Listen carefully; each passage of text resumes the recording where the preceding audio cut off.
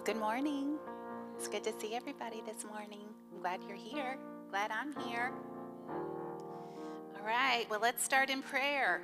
I'm going to pray out of Ephesians 1, verse 15. Father God, we come before you. We thank you for this day, Lord. I thank you for the strong faith in the people of True North Church, their strong faith in the Lord Jesus Christ. I thank you for their love for God's people everywhere. Father, I have not stopped thanking God for them. Lord, we lift each person up here constantly, asking God, the glorious Father of our Lord Jesus Christ, to give us spiritual wisdom and insight so that we may grow in our knowledge of you we pray that our hearts be flooded with light so that we can understand the confident hope you have given us. That you've called, you've called us, Lord. You've called us. We're your called people, your chosen people with a plan and with a purpose. And Father God, we thank you that you reveal that we understand that confident hope and that calling that you have on our lives.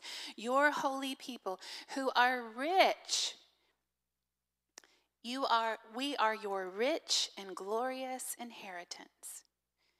Father God, we pray also that we will understand the incredible greatness of your power to us who believe.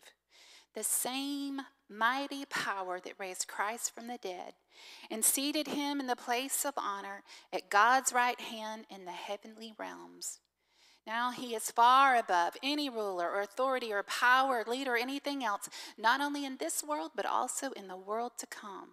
And God's put all things under the authority of Christ, made him the head over all things for the benefit of the church. And the church is your body. And it is made full and complete by Christ, who fills everywhere with himself. In Jesus' name, thank you, Father. We thank you, Lord. And children, you are dismissed. Okay, this morning, the message that we are sharing, yes, we are praying over our, handing out our, let's see, could we pass those around? We're praying, these are prayer cloths that we're praying over. So if you would just pray over those as, as we study the word today. Today, our message is called I Am a Seed. I am a seed. I don't know if you heard about the man that said, I used to hate when I accidentally ate seeds, but recently they've been growing on me. Do you know, do you know what the blonde man said when he looked into a box of Cheerios? Wow, donut seeds. I know, it couldn't be a blonde woman. Not from a girl preacher. Okay, so we've been studying the parable of the sower, and I believe that's where God wants us to continue to be this morning. Uh, we've learned that God's word is the seed in the parable of the sower. There was one kind of seed, and God's word was the seed. 1 Peter 1:23 says, "For you have been born again not of seed which is perishable, but we have been born again of seed that is imperishable.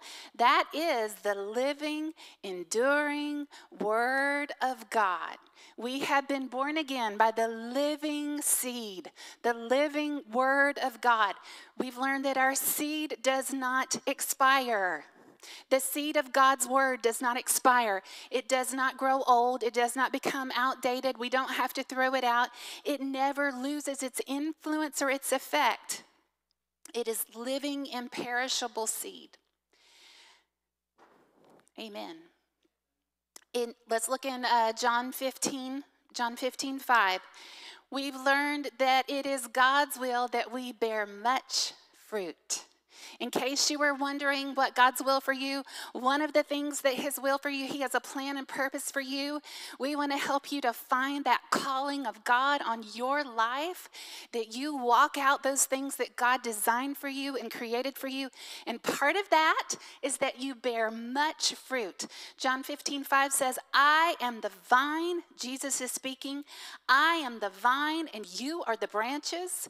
The one who remains in me and I in him bears much fruit. For apart from me, you can do nothing. So, whatever we do apart from Jesus, Jesus said, the value, nothing. Apart from me, anything we're doing apart from him, he said, it's nothing. Verse 8 My Father is glorified by this, that you bear much fruit and so prove to be my disciples. So when we are fruit bearers, we glorify the Father. That is what we were created for, to bring glory to the Father. And we've studied, last time that I taught, we studied the law of sowing and reaping. I call it a law because it is a law. You know, God put certain parameters on this earth that work whether we're aware of them or not. The law of gravity, you have you don't even have to have heard of it and it is working in your life. Thermodynamics, they're working in the world around you and in your life, even if you're like, I, mean, I don't even know what that is. Uh, the law of diminishing return, there's, there's certain laws that are in effect, and one of those laws is the law of sowing and reaping. And we'll be wise if we understand these laws and get them into effect in our lives. So we're going to start in Galatians 6, 7. Galatians 6, 7. Do not be deceived. Do not be deceived. Don't be led astray. Don't be led off course. Don't be affected by someone else's outside influence and lead you in the wrong direction. God is not mocked. For whatever a person sows, this he will also reap. For the one who sows to his own flesh, uh, the Amplified says his sinful capacity, his worldliness, his disgraceful influences, impulses. The one who sows to his own flesh will reap destruction of the flesh. Okay, when we sow to the flesh, we reap destruction. But the one who sows to the Spirit will reap eternal life from the Spirit. When we sow to the Spirit, we reap life. When we sow to the flesh, we reap death and destruction. Verse 9 let us not become discouraged in doing good. Let us not become discouraged in doing good. Do you know we have to encourage one another? Don't get discouraged in doing good because we want to get weary and give up. We get tired and we look at the circumstances and we're not seeing what we want to see and we want to quit.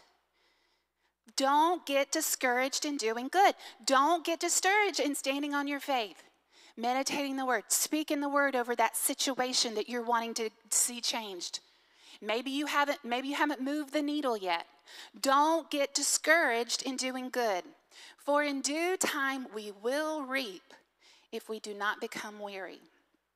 So do not be mocked. Whatsoever a person sows, this will he reap.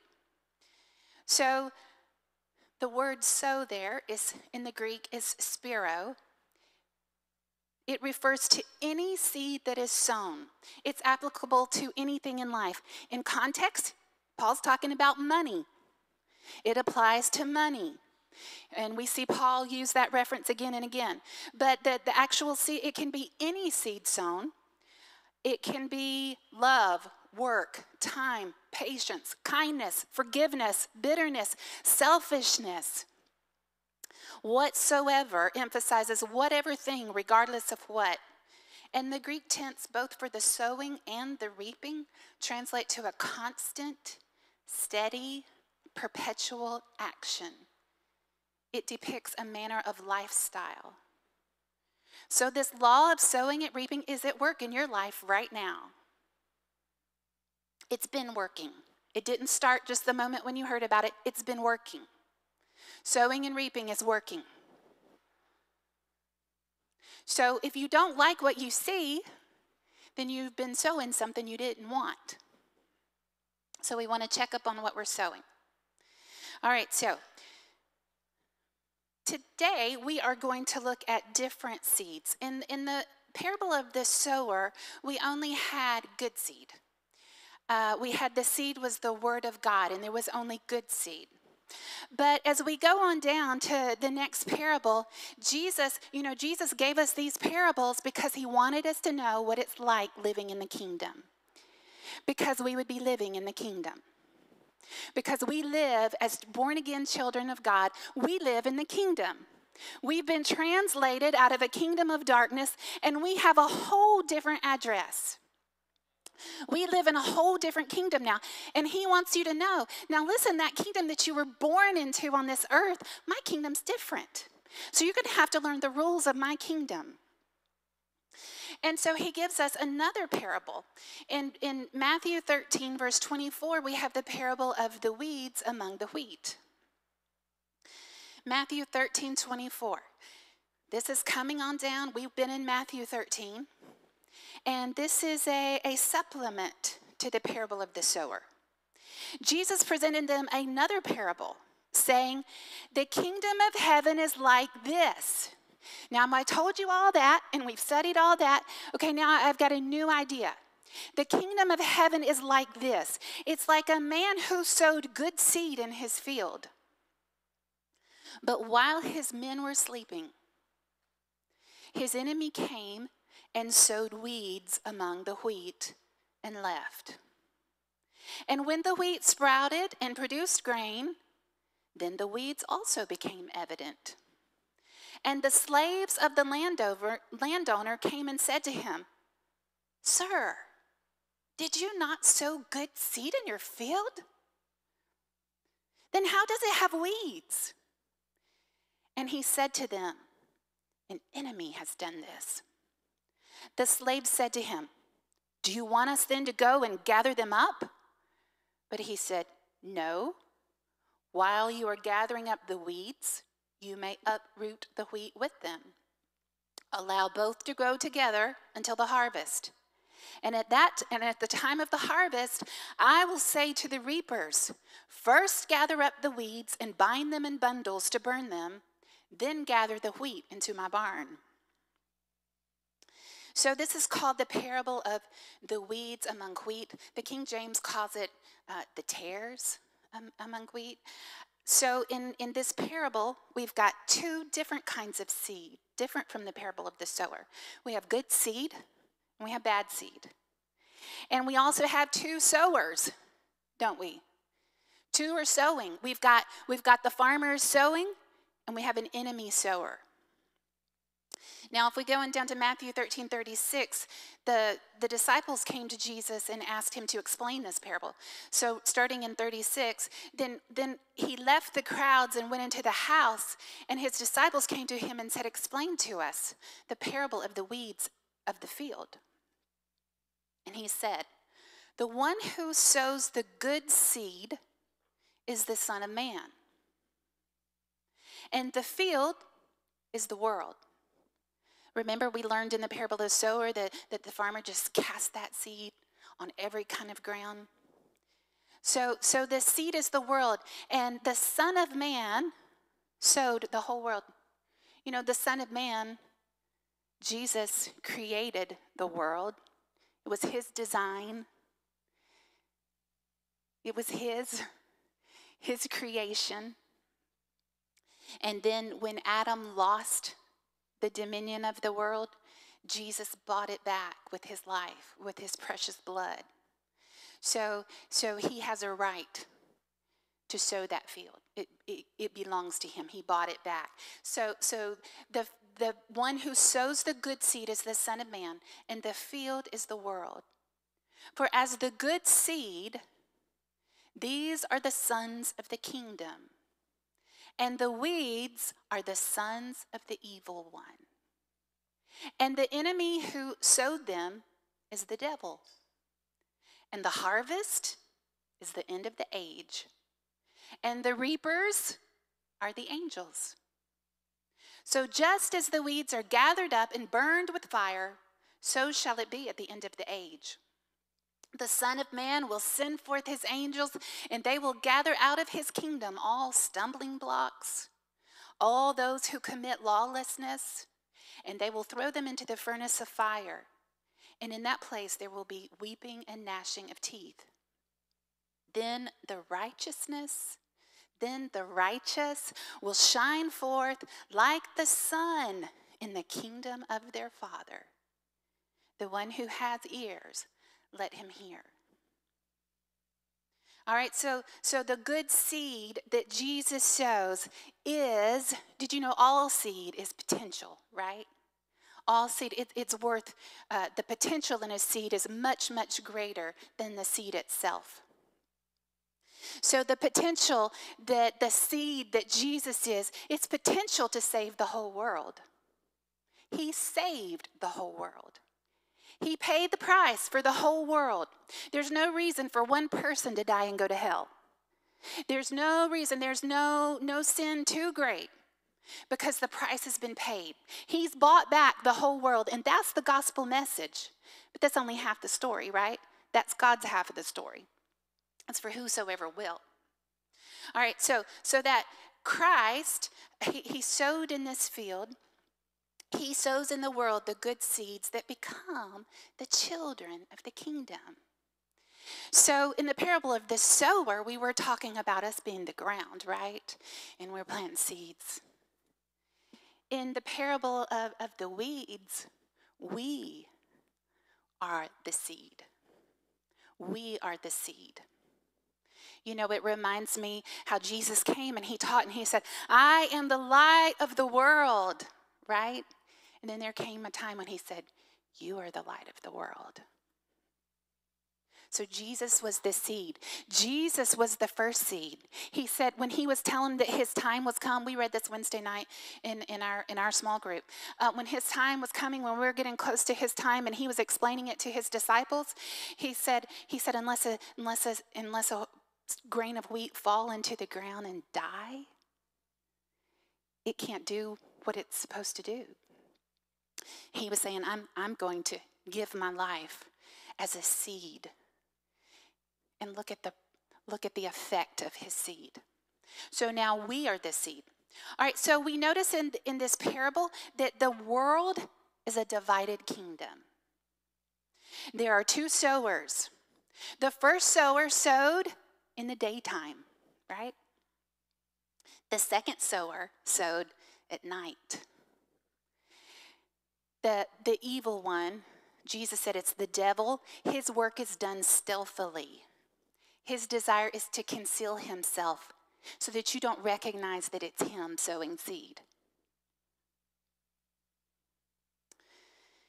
This is a mark of Satan's strategy to keep men from discovering his identity. And what you hear very often when Satan's done something, people say, I don't know why God did that.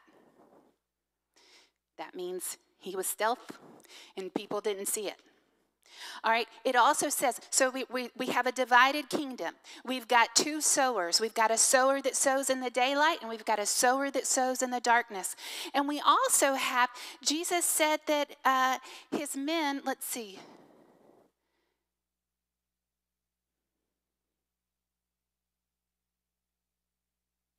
Sorry. He says that his men slept his men slept. While his men were sleeping, what verse is that? Who can help me?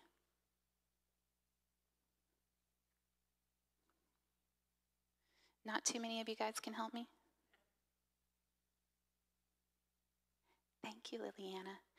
But while his men were sleeping, verse 25, while his men were sleeping, his enemy came and sowed seeds among the wheat and left. So this isn't talking about physical sleep.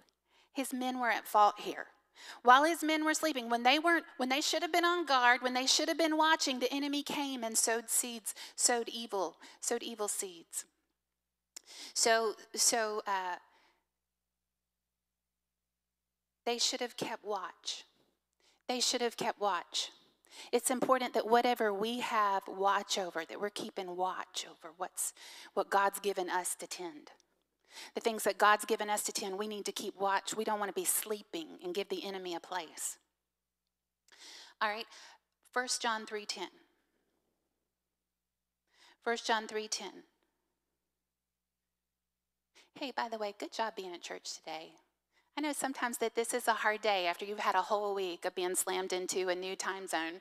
Uh, you, you did good to be at church today.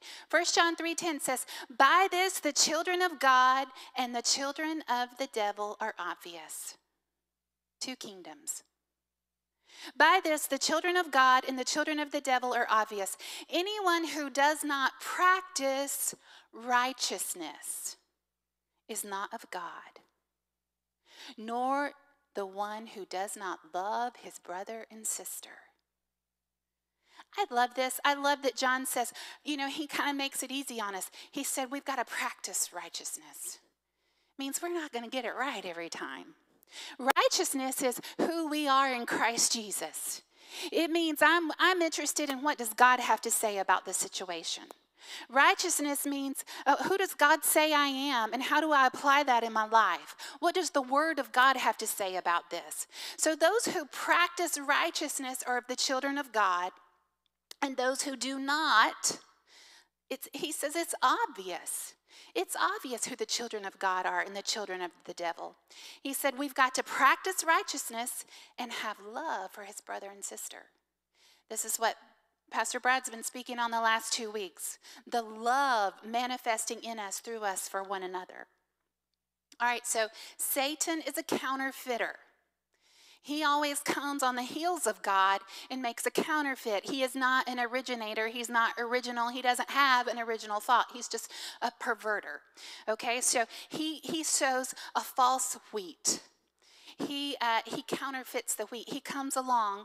Uh, and if we look through time, we look in the Old Testament, God sent prophets, Satan counterfeited with false prophets. After, after the Father God sent Christ, he counterfeited with the Antichrist that's been in the world since Jesus. After Jesus said in the apostles, he raised up false apostles. There's true ministers of the gospel, false ministers of the gospel. There's true Christians and false Christians. Of the 12, there was Judas. In the church of Jerusalem, there was Ananias and Sapphira. At the church of Samaria, there was Simon Magus, who the word says, in the gall of bitterness, in the bond of iniquity. In the church of Ephesus, Paul said there was wolves in sheep's clothing. And in the church of, of Pergamos, there was the Balaamites and the Nicolaitans. So why does God permit wickedness? Why does he permit that? He made us as free moral agents, free to accept or reject. He paid the price for the whole world, but then he, he made the decision ours. And every decision, uh, every decision has consequences. In this world, everything that goes on around about us is not the hand of God. The hand of God has kept us from destroying ourselves already. The only reason we're still alive is because of the hand of God. But that is a lot of the things that you see around you are the result of people making decisions that were ungodly that have consequences. So we're free moral agents. So the servants wanted to get rid of the tares. They wanted to, uh, uh, to use violence. Do you remember when James and John, when the Samaritans respect, uh, uh, rejected Christ, and James and John said, Hey, Master, do you want us to call down fire from heaven and destroy them? yeah, you got to love them. Uh, and, and, and the master gave the directions. He said, We can't separate them now. They're going to have to grow up together. So, because some weeds look like the children of God, and some children of God look like weeds. So, we're going to actually become the good seed as we practice righteousness. So, how do we practice righteousness? We've got to change our thought patterns, change our attitudes. We're in a new kingdom that thinks differently, talks differently, acts differently, has a different source and a different supply, and we have to act like it. All right, so we're going to change how we talk over our situations.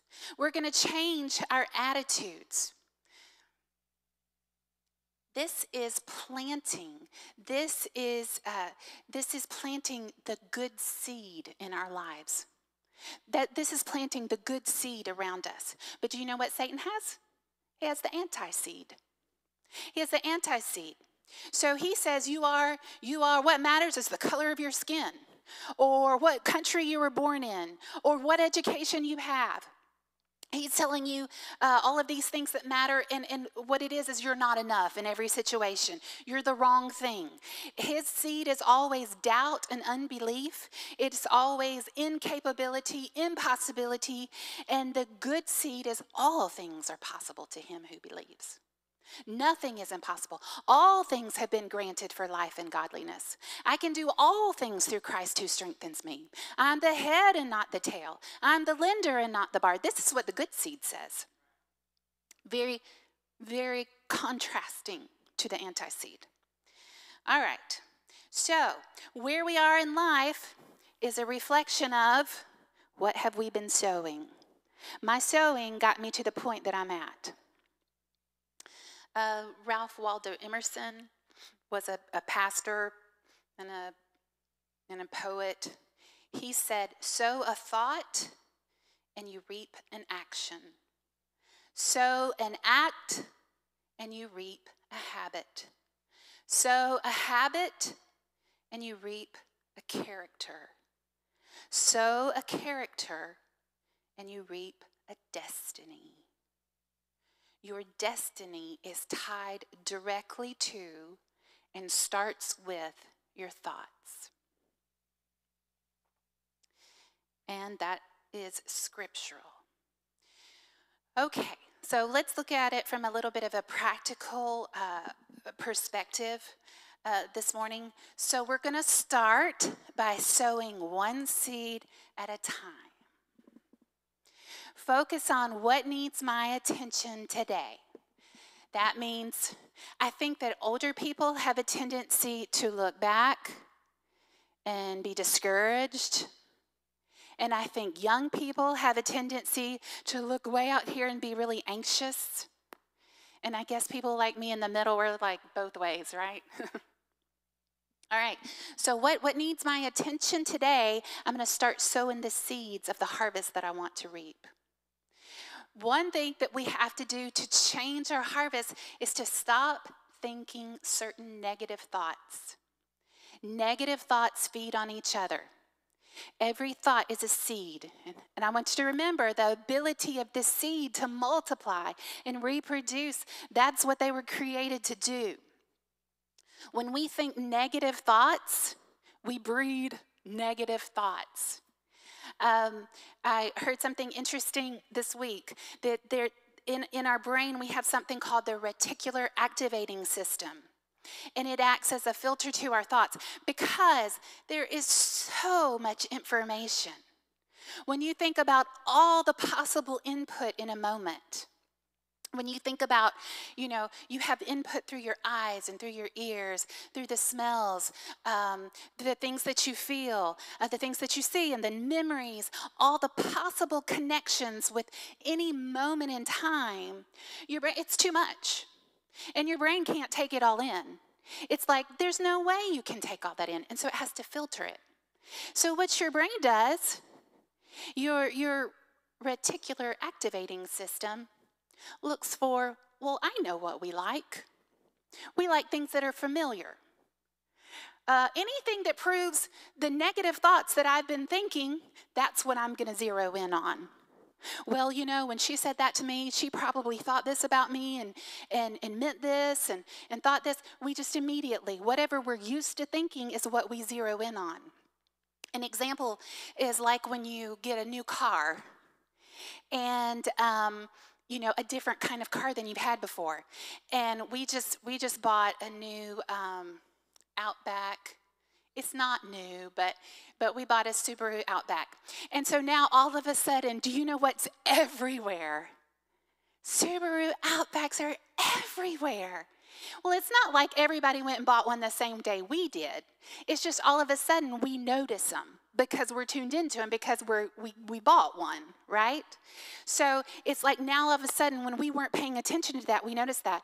When you think about, um, you know, I've talked about how, how Jonah is a birder. And like if you go walk with him and you can be talking about something and then he's like, and he hears some bird, maybe some rare bird. He hears some bird song because he's clued into that and he's listening for that. And how many times, I bet you have no clue how many times you've walked through bird song and didn't even hear it. But it was happening. So, our reticular activating system filters according to what's familiar and the habits we've already created and, and that we are drawing to ourselves. Does that make sense? We're drawing, if we are in the habit of thinking negative thoughts, then that's what we're drawn to. And we're multiplying negative thoughts. So we have to, we, it acts as a filter to attract like thoughts. So uh, we can prove any idea that we want to prove with that because we ignore the information that we want to ignore and we recognize the information we want to recognize and prove, however wrongly, whatever we want to prove. Okay? So we have to retrain our brain to think God's thoughts.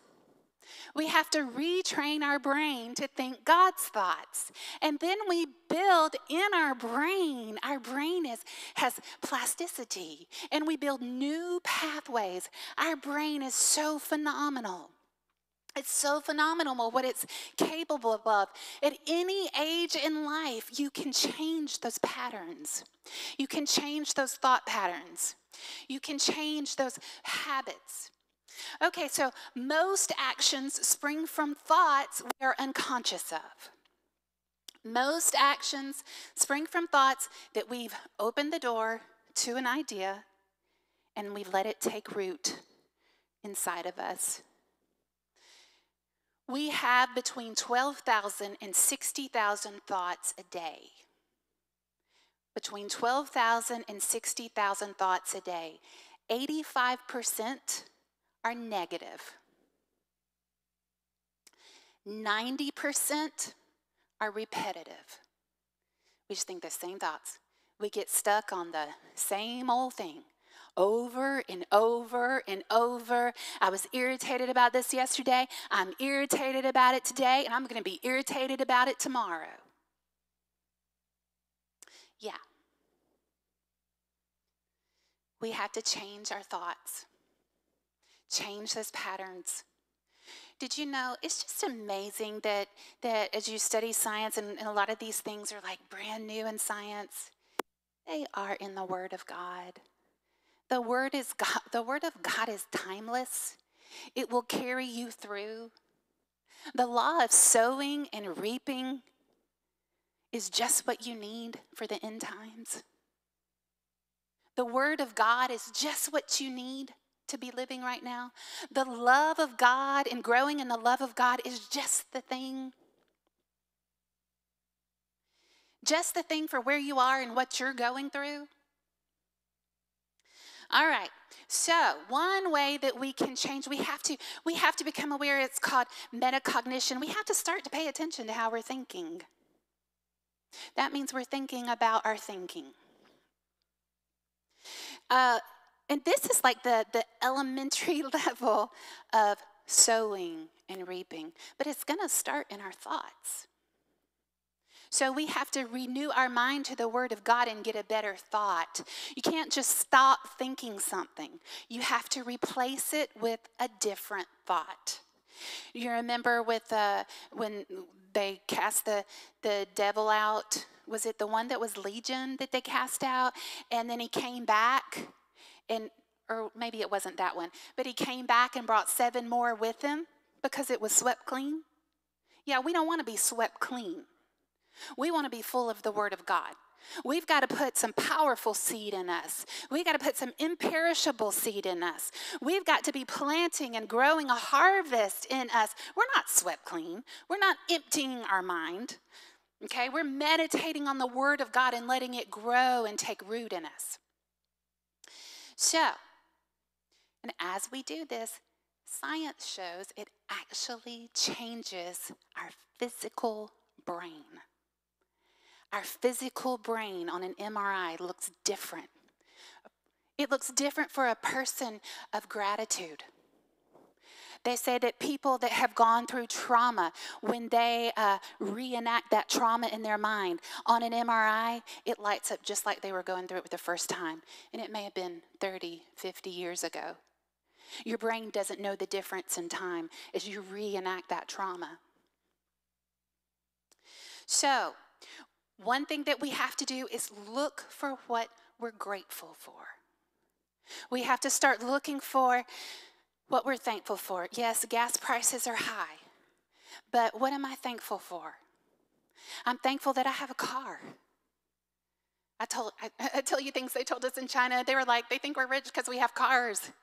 They don't have cars, and if you have a car, you only get to drive it certain days of the week, according to when the government, what your license plate says. You don't get to drive anytime, anywhere you want to. You're limited to where you can drive and what days by what the numbers are on your license plate. I'm glad I get to drive wherever I want. I can put gas money in my car, and I can go places. Okay, so we've got to start to find things that we're thankful for. And as we make that a habit, guess what? We start to change what we're attracted to. We start changing that pattern of attraction. And we'll start building proof for something positive instead of building proof for something negative.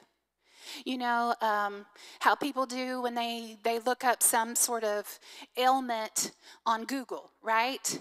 And they start seeing it and they're like, oh no, and they see all these bad things. And then they start, yeah, I think I have that. I think, yes. And they start building this case. Well, as we start to change the way we're thinking, we'll be building a different case, creating a different story, okay? So if we need to invest in, in, our, in our marriage, then we have to notice and appreciate the good. We all get irritated with our mates if you're married. But what we have to do is if you start getting irritated, then one, one irritating thing, if, if you let it and you hold on to that and you accept that, then the devil will come along, well, you know what else? And you'll start building a case for, you know what, he really is annoying. Yeah. Or you could start building a case for, he's amazing. He's so kind and so giving and so generous. So we start looking, we change what we're focusing on, okay? So, so if we're wanting to change what we're sowing, if we want to change what we're reaping, then we're gonna we're gonna guard our mouth and we're gonna speak encouraging words and we're gonna think the best. We're gonna believe the best. We're gonna put them first and prefer them without expecting an immediate return. Sometimes we're like, I did this and I was really expecting a return on that, right? No, we're sowing. We're sowing, and we may not see an immediate return, but we know the law of sowing and reaping, and we know we put it into effect. And we know we put that seed in the ground. Remember, it said the sowing and the reaping was a continual, a continual, a continual. And in due season, you're going to reap your return. Okay, so over your children, speak life over your children. Speak speak good things over your children. Let your words point them in the right direction. I love the NLT. I think it's Proverbs says, point your children in the way they should go. And when they're old, they won't get lost. So speak the direction. Let your words be directionary. Let your words be creative. Let your words be pointed in the direction that you want to go. Your words are powerful. Okay, let's see.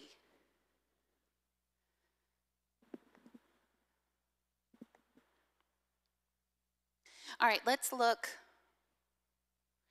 what God wants us to do as we wrap up here. Let's look at Malachi 3:10. We've looked at this, we're going to look at it again. Malachi 3:10.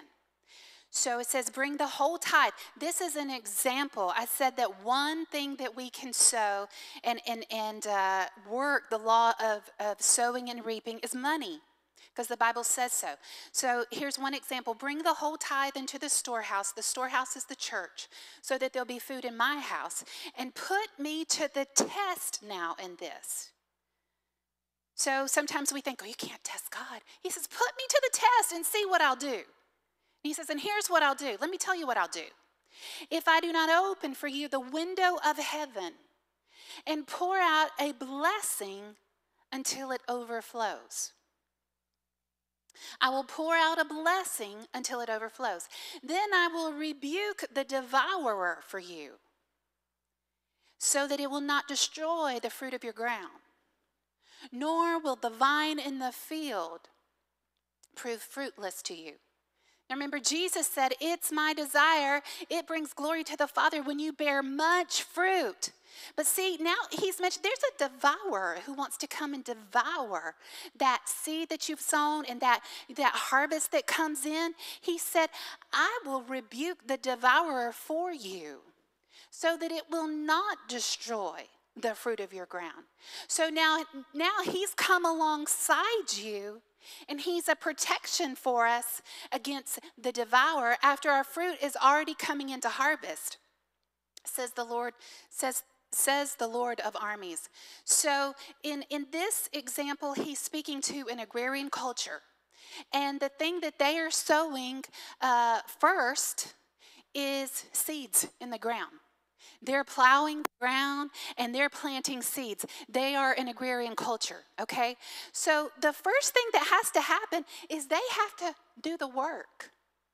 They have to put the seed in the ground. They have to plow up the field and, and put the seed. So there is a natural uh, thing that has to happen. And then they sow the tithe. The tithe is uh, the tenth, and the tithe is the part, is, is the spiritual part that they're recognizing giving to God. So we instigate this process. We are the instigators. So he says, Test me in it and see if I won't pour out a blessing till it overflows. In Luke 6 38, he says, Whatever measure you use, I'll give it back to you, but when I give it back to you, it'll be overflowing. He's an overflowing God. He said, But I'll use the measure that you use. If you use a cup, I'll give you an overflowing cup. If you use a five gallon bucket, I'll return it with an overflowing five gallon bucket. Uh, our people worked hard putting the rocks out. And we had, I mean, it was efficient. Uh, they were filling up the ones that could filled up buckets of rocks, and then the bigger ones carried the rocks or pushed the uh, whole wheelbarrow full of rocks. Yeah, but if you use a wheelbarrow, he says, I'll use that wheelbarrow, but it will be overflowing. If you use a dump truck, I'll use a dump truck, but it'll be overflowing. So the same measure that you use is what I'm going to use, and, and it's going to be overflowing. So God will prosper the seed sown and God will rebuke the devourer in our lives. So it's a twofold blessing. So, whatever area of lack you have, whatever area of need, we have to look at what we have to sow. And we actually have three things to sow. We have three things that we can sow. We can, these are our resources available to us. We have words, and we have time and we have money. So, whatever area that you're needing, you need to figure out, Lord, what am I supposed to be sowing? As we go on, we're gonna we're we'll have to stop this today. But we have resources and we have time and we have money. And the kingdom principles work contrary to the world system. The world system says when things get hard, when you have lack, then you better pull it in tighter. You better hold on. You better you better hoard up. You better stock up. You better go get all your buckets full of gas. That's what the world system says to do. But God says, You got to give so that I can give it back to you. And I'm going to use the measure that you use, but I'm going to have it overflowing. All right, I think we'll stop there. Let's stand to our feet. So we are sowers. Everybody say, I'm a sower. You are a sower. I don't know if you know what you've been sowing, but you are a sower. I'm a sower and I'm a reaper. I'm a sower and I'm a reaper. This works for any age. This works for young people wanting to raise their money to go to youth camp.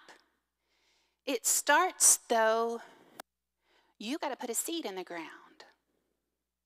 It starts with you've got to get some seed in the ground. It doesn't just come to you, we initiate it with our sowing.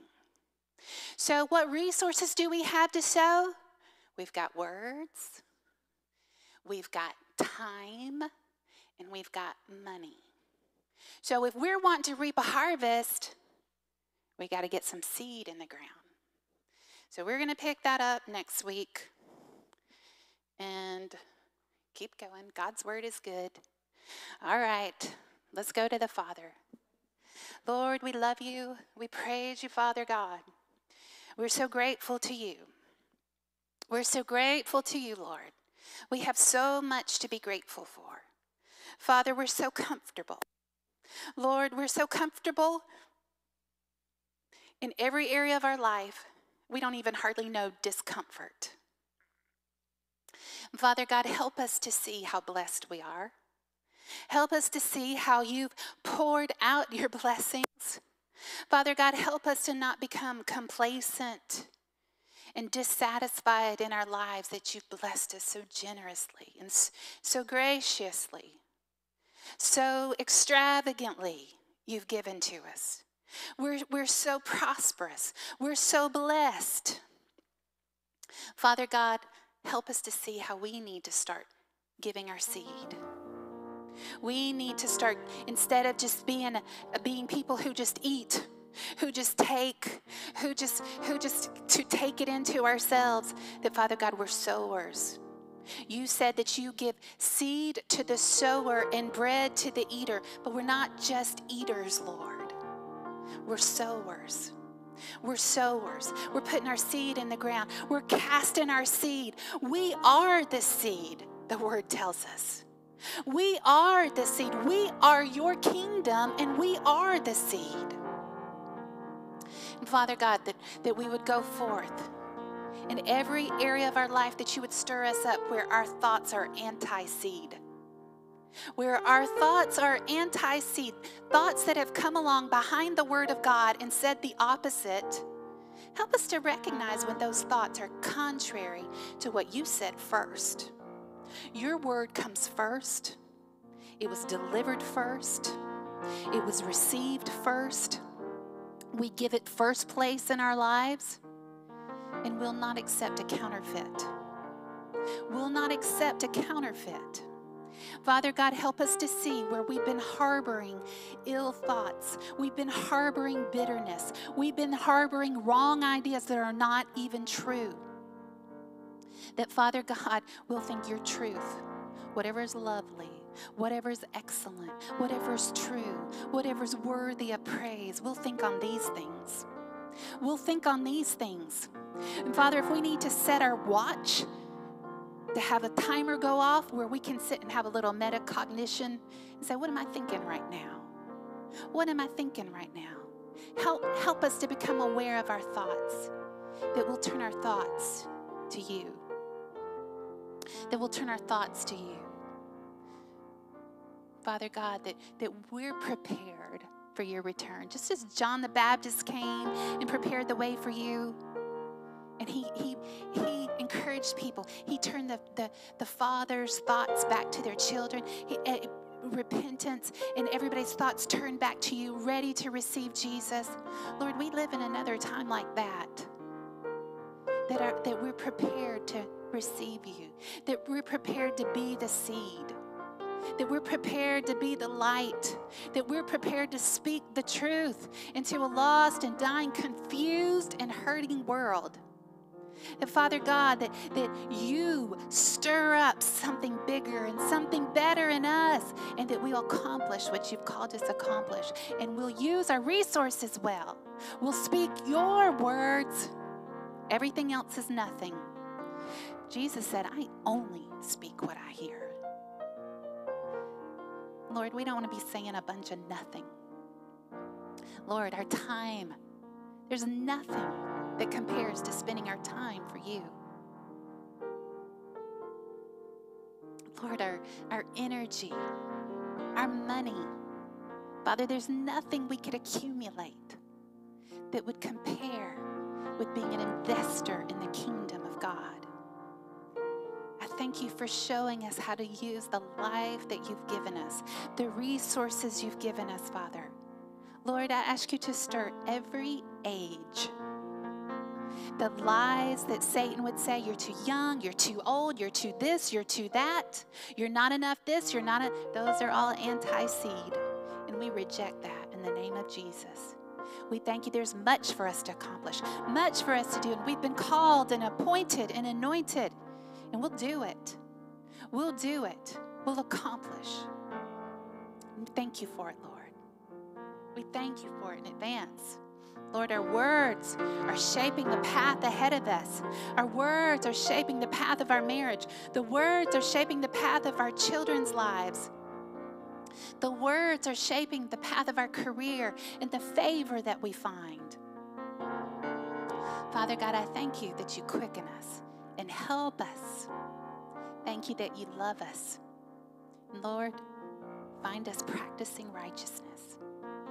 Find us practicing righteousness. Thank you, Lord. Is there anybody that needs prayer this morning? We don't want to miss an opportunity if you want to come down and receive prayer, we'll join in faith together.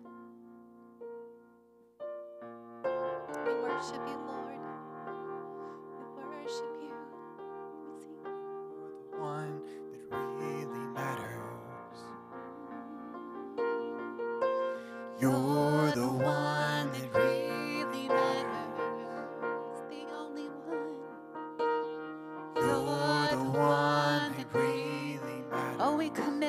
hearts to you, Lord Father. We commit our thoughts, the seeds of our thoughts. We commit the words of our mouth to you. We give it to you right now. Father God, we give you our time. We give you our money. Lord, not my money, it's your money. Oh, we give it all to you. We thank you. You show us how to be wise, how to sow it as you'd have us sow.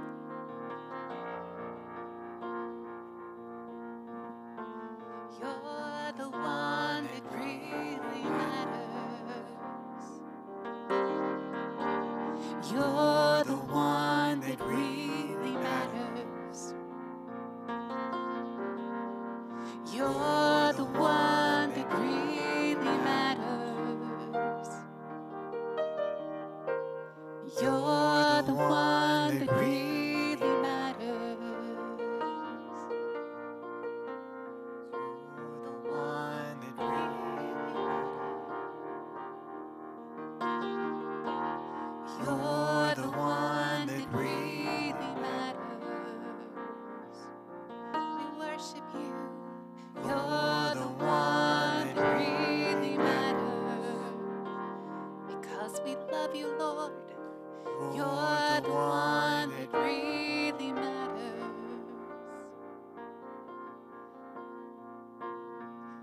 thank you that you watch over us, every single person, are coming and are going.